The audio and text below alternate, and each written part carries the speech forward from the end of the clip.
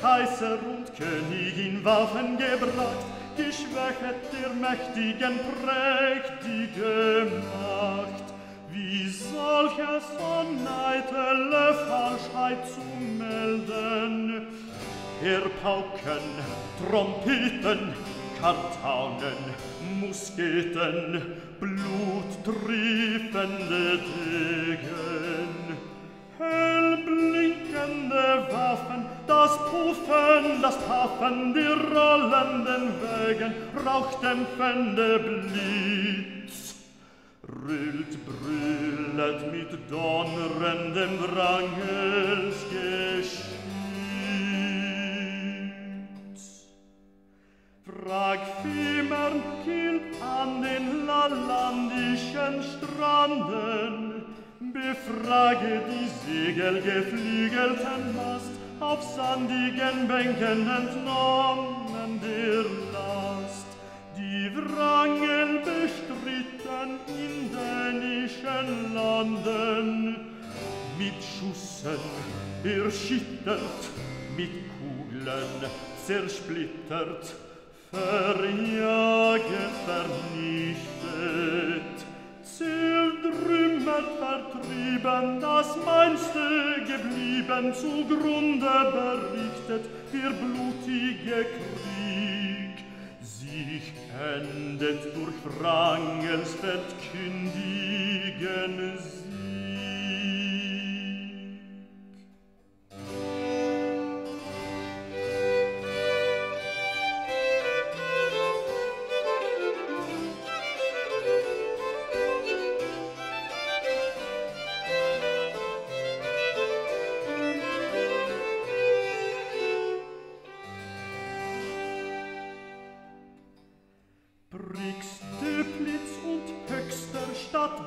Bergen, Westfalen, am Mönneburg, Hessen, Rhein, Wieser und Main, samt Bregnitz ihr kennen, besieget zu sein. Von wranglicher Sticke behagleten Strahlen, es weichen die Feinde, sie werden als Freunde, sie hermen ihr Staunen, ihr dichten Vertrauen und wollen nicht schauen der Schweden Kartaunen, die Donaumacht Fried und endet mit Schanden das ulmische Lied. Inzwischen fällt Schweinfurt um muss springen. Der Kaiser kommt selbst denn mit mächtigem Heer, dem Wranglischen gönnet Bellona die Ehr. Dasselbige sämtlich in Mömmerland ringen, sie weichen zurücke dem falschen Gelicke und stellen sich wieder wasserem Haufen, die Feinde verlaufen, es wartet ein jeder das Ende vom Tanz.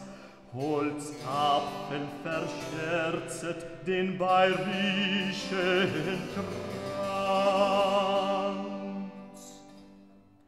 Lecht dieser Marktflecken und Dörfer der Armen, brauchen die Ursach der Strafe zugleich, es wendet den Fernes verderblichen Streich.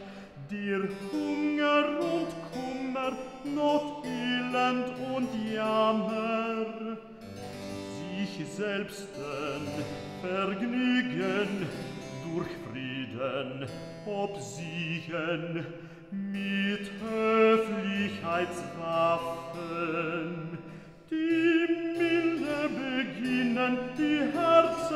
gewinnen und Ruhe verschaffen, bringt Wrangel den Preis. Verewigt dem Namen auf selten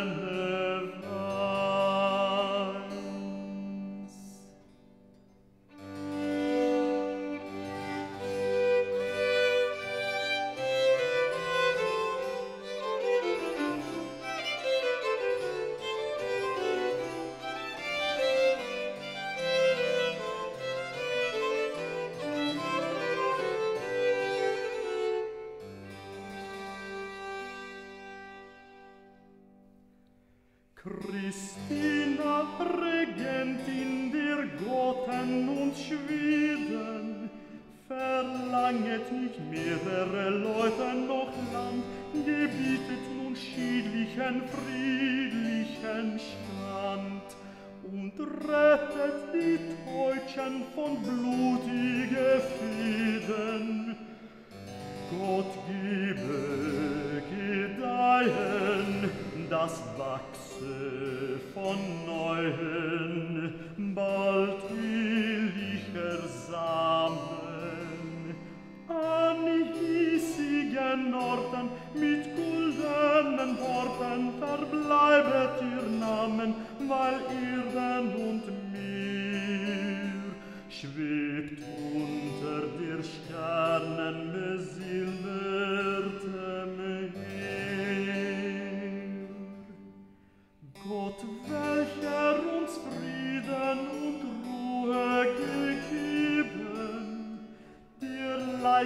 des Kaisers und Könige Sinn, wie wisplendes, lisplendes Wasser gerinn.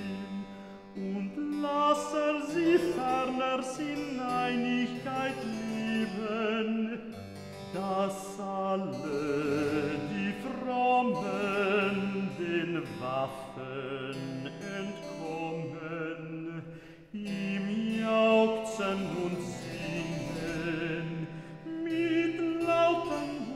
zeigen, die Dankbarkeit zeigen und sämtliche bringen Lob, Opfer und Heil. Den Herren der Himmel